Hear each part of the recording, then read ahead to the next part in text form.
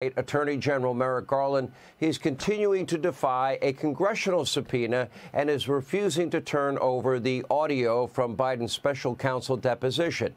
Garland appears willing to be held in contempt in order to shield this tape from you, from the American public.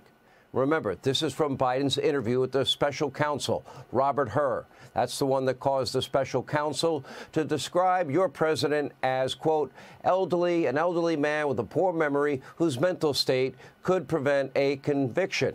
Wow, even though he willfully held on to classified information and top secret documents. And yet again, Biden wants another, what, four years in office? Today he was back in Pennsylvania, kind of because it's the closest battleground state to both Delaware and the White House. So it's kind of an easy trip for our weak, frail, mentally, physically frail commander in chief. But during a handful of lethargic campaign stops, well, Biden's mind appeared to be elsewhere. There's something about Pennsylvania that leaves Joe yearning for the olden days. So he made the fatal mistake. He went off script and treated voters to one long, rambling, bubbling, mumbling story, one after another. Take a look.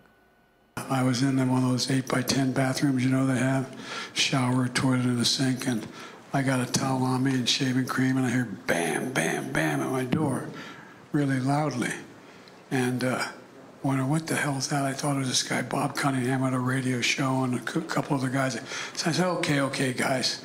And I walked to the door and opened up, and standing there was the former governor of the state of Delaware, Albert N. Carvel, a big guy, about 6'5", talked at you like this.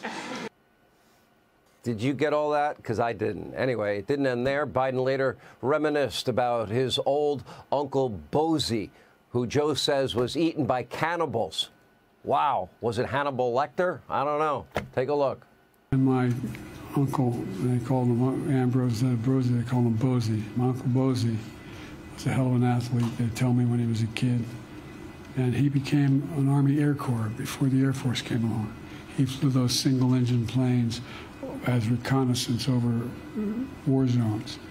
He got shot down in New Guinea, and uh, they never found the body because there used to be there are a lot of cannibals for real in that part of New Guinea.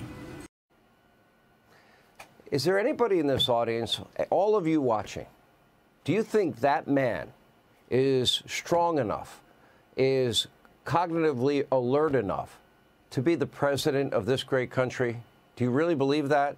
And what are the accomplishments over the last four years? Can you name any? I can't.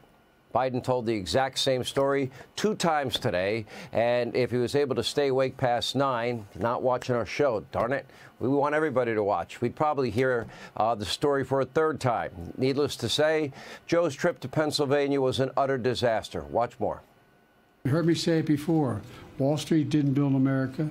The middle class didn't build, build America, and you guys built the middle class. Unions built it. My mom didn't live in, in, Scranton since she was 1954, but when you'd ask mom where she's from, she she's Scranton.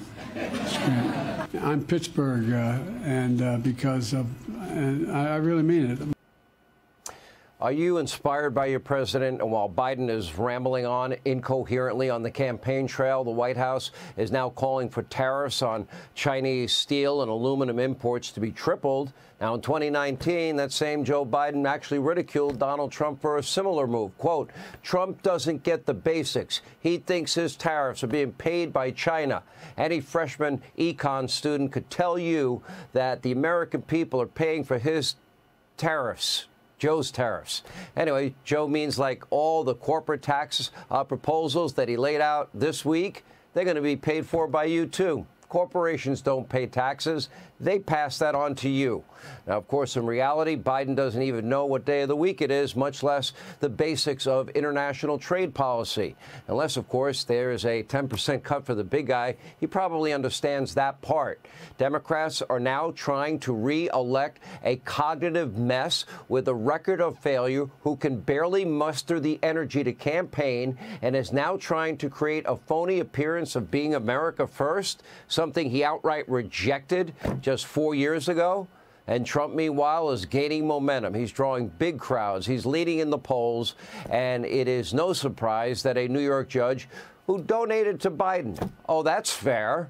Is now keeping the Trump uh, the Trump campaign and Donald Trump, the candidate, off the campaign trail, trapped in a courtroom. And if Democrats had their way, he'd be in court for the next 201 days uh, with a muzzle on the entire time, like the gag order New York has imposed on Donald J. Trump.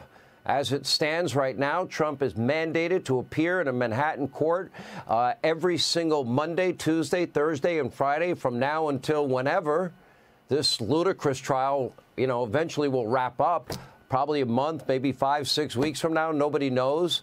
New York state law does allow a judge to waive a defendant's, quote, mandatory attendance after a required motion if the prosecutor doesn't object but don't expect that from the judge in this case, Juan Merchan. Uh, Merchan has already threatened Trump with jail if he fails to appear and also issued that unprecedented gag order preventing Donald Trump from even defending himself in public. He's not allowed, or they're going to put him in jail. What happened to freedom of speech? Meanwhile, other people that are involved in the case, they're free to speak out anywhere, anytime about anything, and they are. Again, this is a judge he donated to Joe Biden, President Trump's chief political rival, whose daughter, reportedly a Democratic political operative, and this so called trial is being based on what?